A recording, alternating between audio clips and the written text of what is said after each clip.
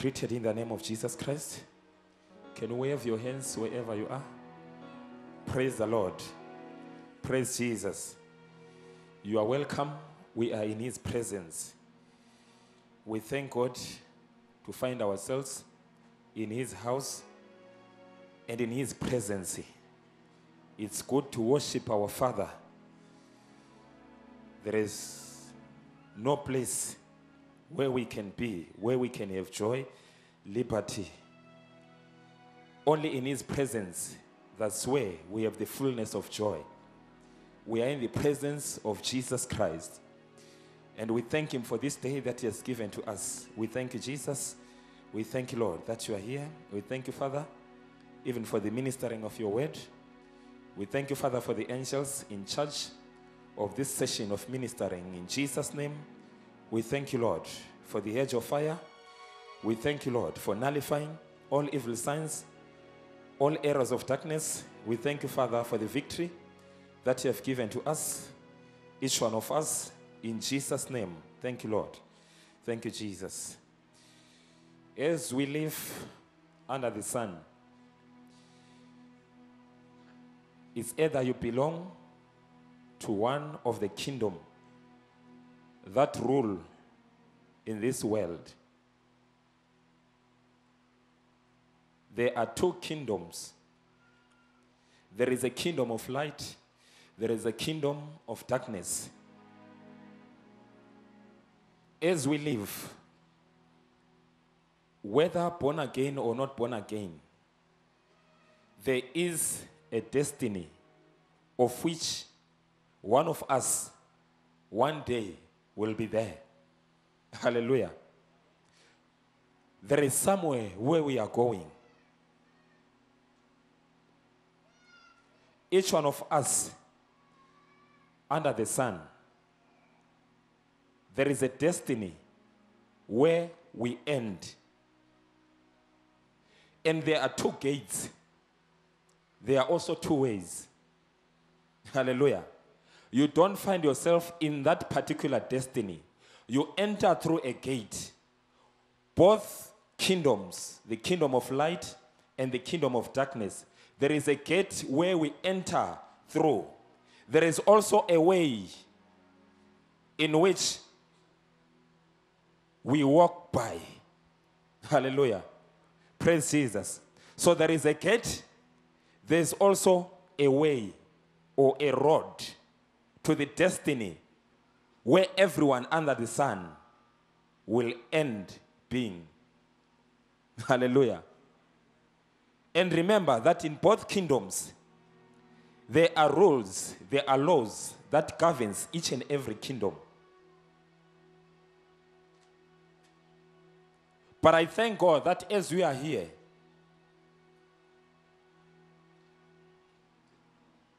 as we are here in the presence of God, we will end at the destiny. If we listen, we will end being at a destiny which God has designed for each and every child of God. Those who, will be, who, those who believe in Christ Jesus, those who will believe in Him, even in the future. That destiny is assured. Hallelujah. Praise Jesus. This is leading to our topic that says a journey to destruction. A journey to destruction. Maybe you might be here asking yourself to say, No, this is a church. We're in a church. Why a journey to destruction? Because no one desires to go there. But why is it Jesus has given us this topic today and now? Hallelujah. Praise Jesus. So it means there is something that Jesus wants us to know. Hallelujah. We are not in a crusade, we are in a church. But why this topic? A journey to destruction. None of us desire that way. But we must know that in this journey, what is found, what is there, so that you, as a child of God, you must be aware, so that one day you may not find yourself in that particular way where you end in destruction. Hallelujah. Why am I saying this? The Bible says that those who will endure till the end will be saved. I thank God for eternal life that Jesus Christ has given to us. Hallelujah. He died for every humankind so that those who believe in him will be saved. It's open for everyone living under the sun. But if you continue in that book of John 3, you continue from 16, you go up to 19. It says that the light came to the world. But some, they chose to reject the light because of their deeds. Hallelujah. Praise Jesus. So we thank God for this day so that you may be aware that there is a journey to destruction. And remember, when we spoke of destruction, it means once you are there, there is no return. Hallelujah. There is no return. We thank God that Jesus Christ, when he left here, he says, I'm going to prepare a place for you. Like I said, you don't just find yourself there. Hallelujah. There is a gate in which all of us must enter. Let's go to the word. Matthew chapter 7, verse 13. Matthew chapter 7, verse 13 from NIV. I will read. Enter through the narrow gate, for wide is the gate, and broad is the road that leads to destruction. And many enter through it. But small is the gate, narrow the road that leads to life, and only a few find it. Hallelujah. Praise Jesus. Enter through the enter through the narrow gate, for wide is the gate. Like I said, there is a gate in which we enter, all of us. Here, the word of God encourages us to enter through a narrow gate. Why? For wide is the gate, and broad is the road that leads to destruction. And many enter through it, but small is the gate, and narrow the road that leads to life, and only a few find it. I pray that you must be one of the few that find this narrow gate. Hallelujah. Praise Jesus. When Jesus Christ left, he never promised us that we won't go, through challenges and difficulties. He has given us an assurance that where He's going, He's going to prepare a place for us. Hallelujah. I want you to know this that whatever God has said in His word is full and final. Hallelujah. Praise Jesus. Also, in the other kingdom, the kingdom of darkness, the devil is full of promises. And you will never fulfill any of the promises. Hallelujah. Praise Jesus. Are we together, church? He is full of promises, but he will never fulfill any of the promises.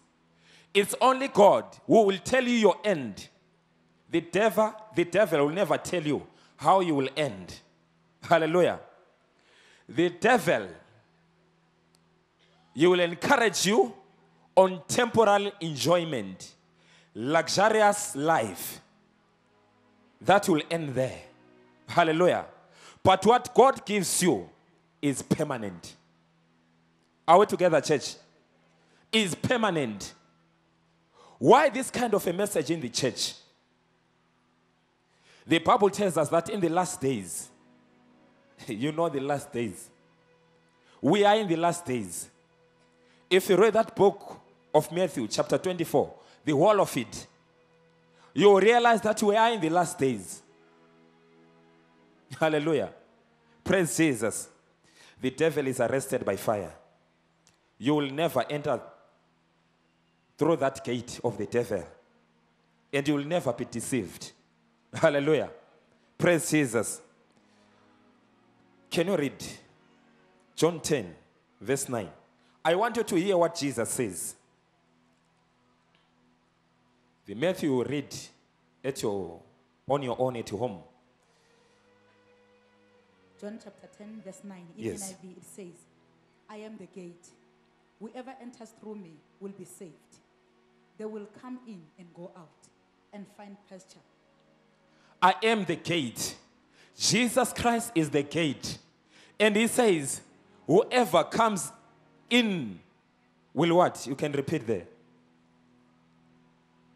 I am the gate. I am the gate. Yes. Whoever enters through me Whoever enters through me will be saved. will be saved. They will come in They will come in and go out and go out and find pasture. and find pastures. Hallelujah. Praise Jesus. Can you read verse 10? The thief comes only to steal The thief comes only to steal, and kill kill, and destroy. and destroy. And you know what? When he comes, it doesn't show you, it doesn't tell you that I'm here to steal from you. You will say you are enjoying life. You use these words. You will say, Carry on, my mommy, my father, my sister. Hallelujah. It doesn't show you the end. When the thief comes to steal to you, they will never tell you that tonight you are coming to your home. No. When the devil comes to you, he will never tell you that I am the devil. Hallelujah. Praise Jesus. But Jesus says, I am the Son of the living God. He doesn't hide his identity. But the devil is a thief, he's a liar. Hallelujah. He has strategies. That's why during the times of Jesus, he would talk to him. But in our time, what is he using? He wants to use your mind. Hallelujah. Somebody say, I refuse. I refuse. I declare. I have a sound mind. Hallelujah. Praise Jesus. When people are living, they live with their eyes open. You are given ears to hear. You are also given a mouth. But it doesn't mean that all of us see. Yes, you may not be blind, but it's few people who see where they are going. Hallelujah. The Bible says that the devil is a God of this world. He has blinded many, but refused to be blinded by the evil one. Hallelujah. Refuse that.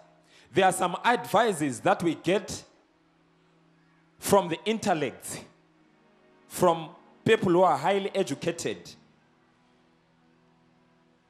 people who have mouth, people who have ears, people who have eyes. But it's not every advice that take you to eternal life. Hallelujah. You can fall into a pit through what is, has been given to you or what has been given to you. I remember there was a message once the, that was once preached by the man of God. He says, as a child of God, what are you hearing? Hallelujah. There are many voices. We are the children of God, but there are many voices that come to us. And such voices, you cannot avoid them not to come to you. You will hear them. But you are encouraged to say, be careful on how you listen. Hallelujah. Be careful on how you listen. And that which is profitable, be in a position to pay more, more attention to that which gives life. Hallelujah. Pay more attention to that which gives life. But many a times we pay more attention to that which leads to distraction. Hallelujah. Praise Jesus. When God tells you, gives you a word, stand by that word. Because there are voices that will come. Hallelujah. But when we stand firm on the word from God, whatever word will come, it will must never move you. Hallelujah. It must never move you. You must stand on what God has said to you through His word. Hallelujah. The devil is a liar. And all his schemes, his strategies are exposed. You will never fall into his trap. If we look at the church today, I'm not referring only here, His Will Worship Center, the body of Christ all over the world. You may think that people are headed to eternal life, of which they are going the opposite direction. Why? The Bible says that the devil he transforms himself as an angel of the light to deceive many. Hallelujah. Praise Jesus. That's why we're also encouraged in this house, we were taught to say, never follow any human being, never follow a pastor, never follow an evangelist. You will never know where they are standing with God right now. Hallelujah. There was one time when Paul said, You Galatians, who has bewitched you? You started well, but look where you are today. And we were told here that when someone has missed the way, they will never come to you and say, You know what? They offered me money. Do you know people who are close to the servant of God? to that pastor, to that evangelist? Are you always there with them wherever they are? When they make those calls, are you with them? Hallelujah. Why am I saying this? I'm saying this so that you may wake up as the children of God, the whole body of Christ. Never follow a man, follow Jesus. Hallelujah. To qualify what I'm saying, Paul in Galatians, he says, even if tomorrow I will come speaking a different gospel than what than that which you had first, don't listen to me. Whether an angel come from above and say something else, never be moved from what you heard. But the question is, what are you hearing? What have you heard? What kind of advice have you been given? Hallelujah. I'm not saying we must not honor the servants of God. Hallelujah. Get me right. But what I'm saying, you as a child of God, know what God has said to you and through His word. Hallelujah. Praise Jesus. Are we together, church? All over the world, there are many churches, there are many so called servants of God. They use this book, this book, this holy book, hallelujah, to deceive many the devil will never come and say, I'm the devil, follow me. No. But what does the word say? The letter kills, but the spirit does what? Gives life. Hallelujah. Are we together, church? But you must have spiritual ears. I'm not saying don't reject people who come wanting to advise you. Listen, but pay attention to how you listen. God has given you the Spirit to discern, He has given you the anointing that will teach you all things. So, whatever has been said, you mustn't just take and say, hey, because it's evangelist so and so, I take it. I'm not referring to our own. Because the prophet so and so, I take it. It must confirm in your spirit. Hallelujah. Are we together, church? Okay, let's go to the word. Galatians chapter 1 from verse 6. Galatians chapter 1 from verse 6. Galatians chapter 1 from verse 6. in Yes. NIV, Listen here, people of God. I am astonished that you are so quickly deserting the one who called you to live in the grace of Christ and are turning to a different gospel. You are turning from a different gospel gospel. Uh-huh. Which is really which is really no gospel at all. Evidently, some people are throwing you into confusion and are trying to pervert the gospel of Christ. Mm-hmm. But even if we or an angel from heaven should preach a gospel other than the one we preach to you, let them be under God's curse. Mm-hmm. As we have already said, so now I will say again if anybody is preaching to you a gospel other than what you accepted, let them be under God's curse. Am I now trying to win the approval of human beings or of God? Or am I trying to please people? If I were still trying to please people, I will not be a servant of Christ. Hallelujah. A servant of Christ will never preach to please people. Hallelujah. Praise the Lord. Never preach to please people. No. They will dictate how you are supposed to preach. If you tell them the truth, they reject it. So we must wake up, children of God. Don't just move everywhere. Stand firm. Know your position. Hallelujah. Open your eyes. Open your eyes. Preachers today, they are making people to be confused. But it's my prayer that me and you are not confused.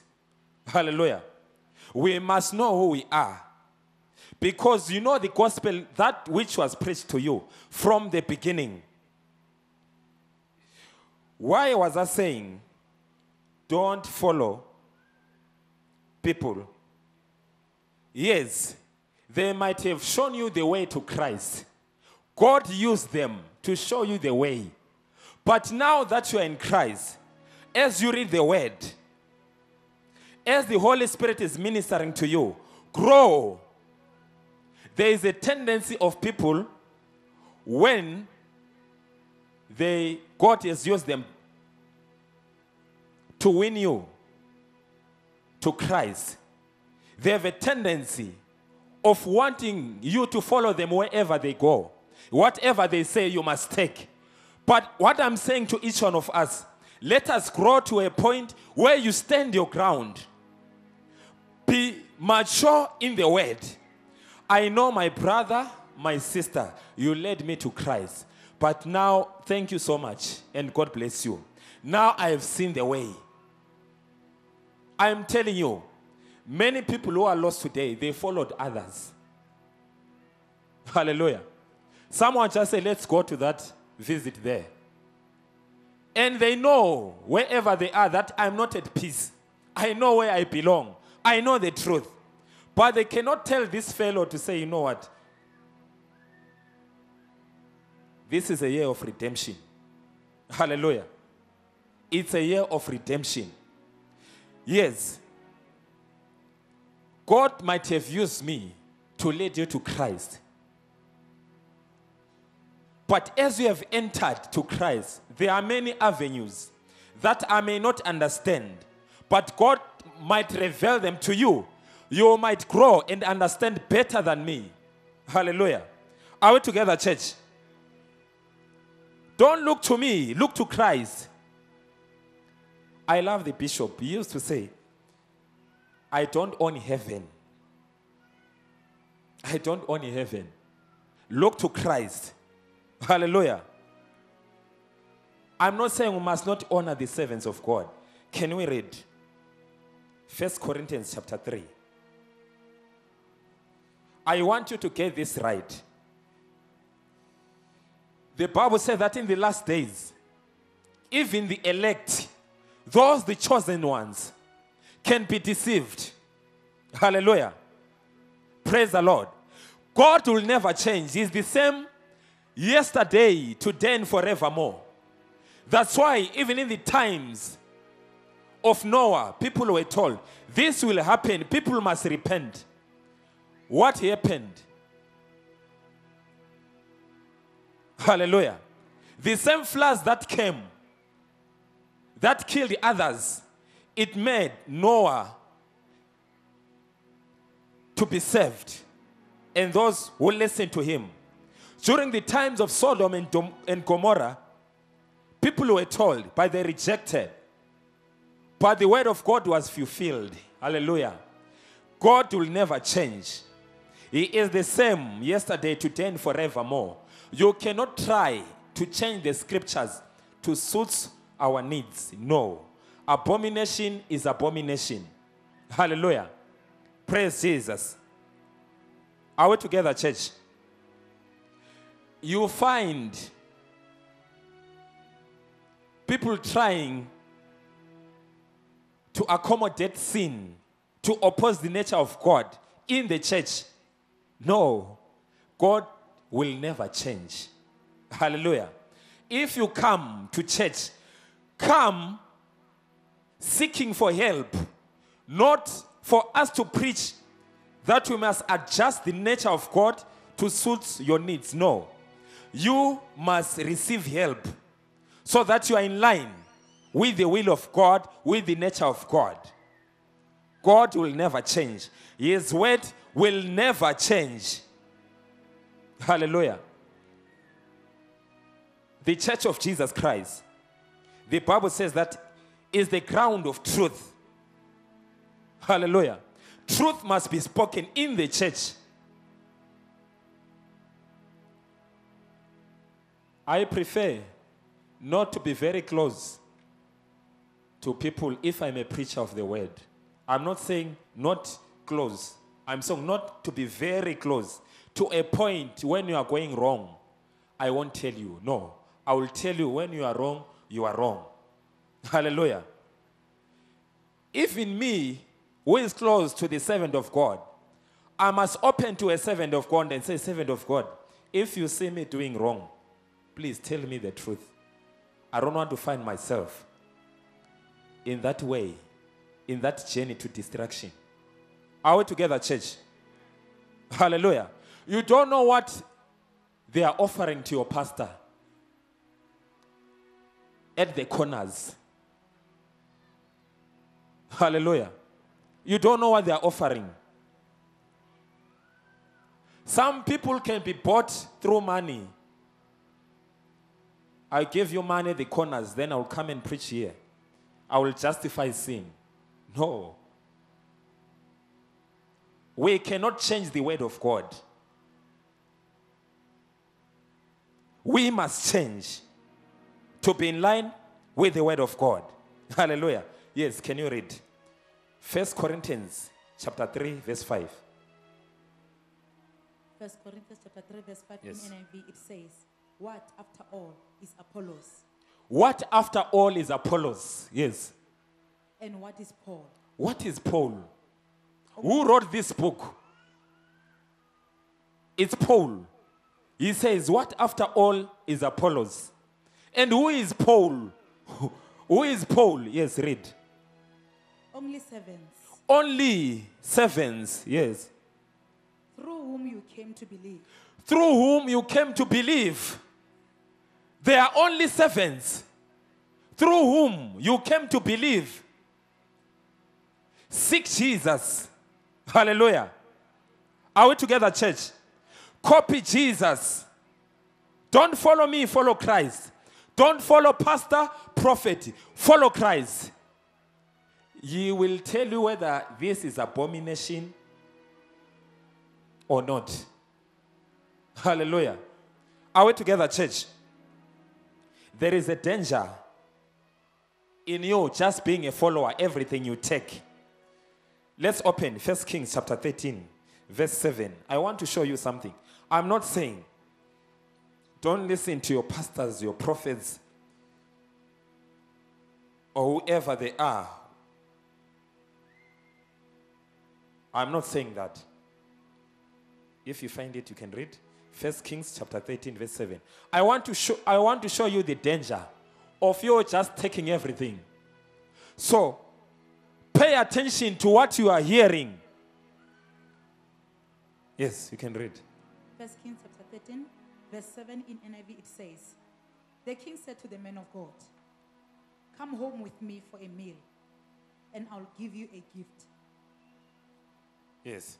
Come home with me and I'll give you a what? A gift. What had happened before? This man came and rebuked them in the altar. He was correcting them. So the priest, the king, he was saying, No. He pointed at this man. What is this man talking about?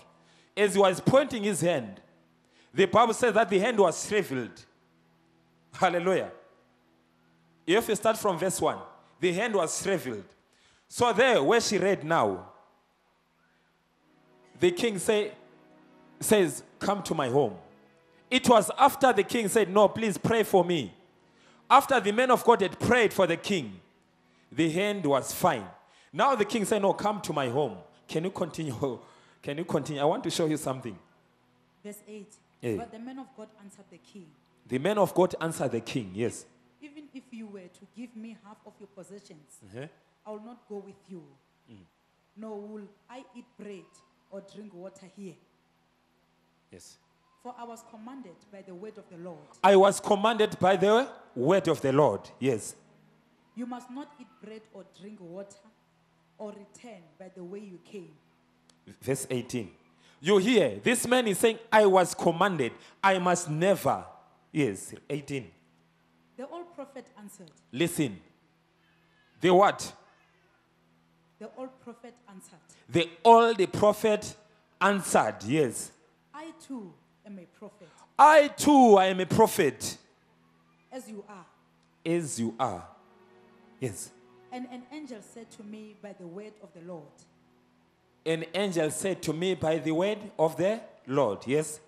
Bring him back with you Bring him back with you to your house, to your house. so that he may eat bread Uh-huh. and drink water. Yes. But he was lying to him. But he was what? Can you repeat the last part? But he was lying to him. But he was lying to him. He was a prophet of God, but he was lying to him. Read verse 24. Verse 24. As he went on his way, Uh-huh. a lion met him on the road and killed him. And his body was left lying on the road, with both the donkey and the lion standing beside it. You heard. This is a painful situation. The servant of God heard the word from God. And he was ready to listen and to stand by it. But there comes an old prophet. I am also a prophet. God has sent the angels, an angel, to call you. Hallelujah.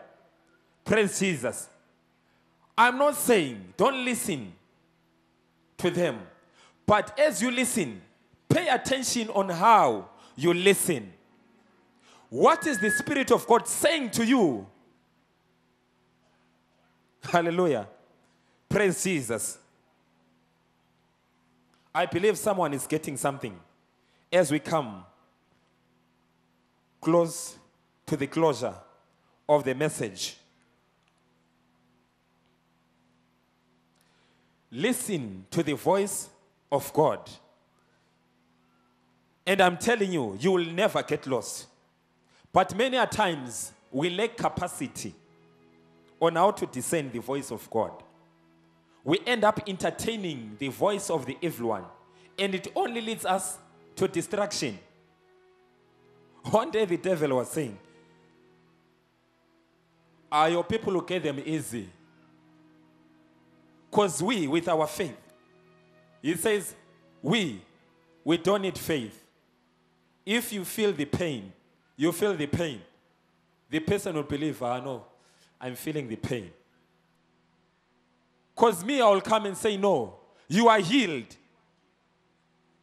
But when I you are saying, No, I'm feeling pain, you doubt. I say, You, you have received. You are saying, I can't touch it. So he says, That's what I use. You are doubting. I'm saying, It is well with you. Saying, No, but things are bad at home. And there is there is an evidence. There is no mealie-meal. There is no nothing at home.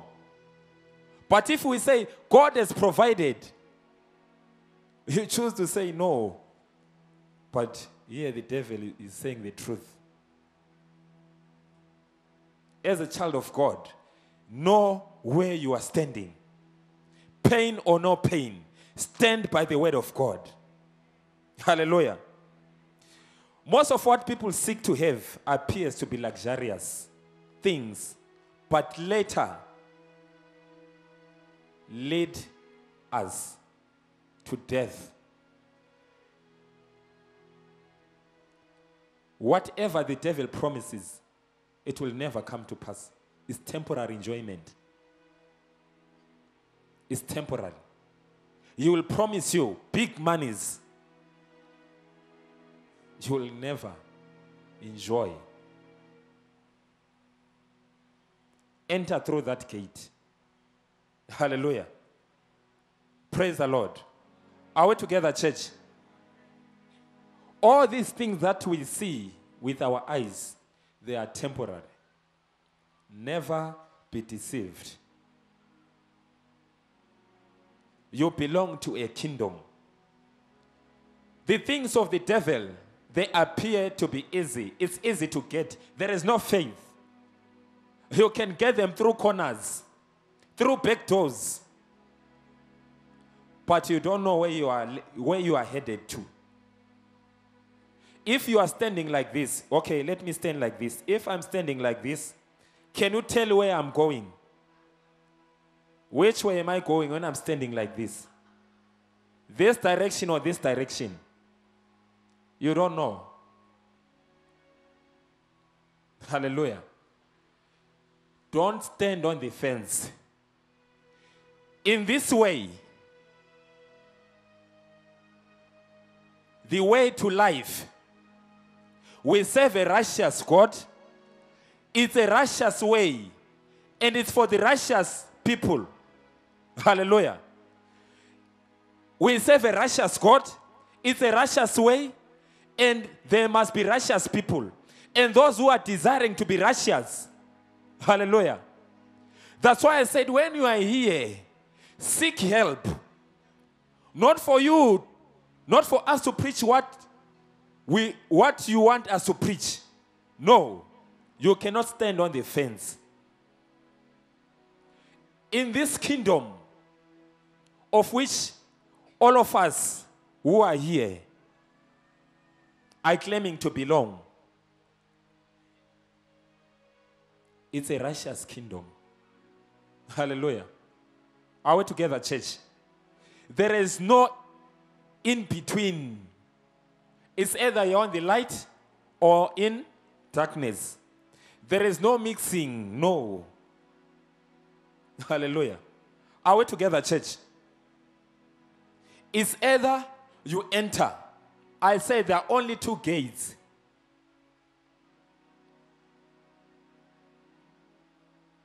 People of God, before it's too late, there is a point of no return.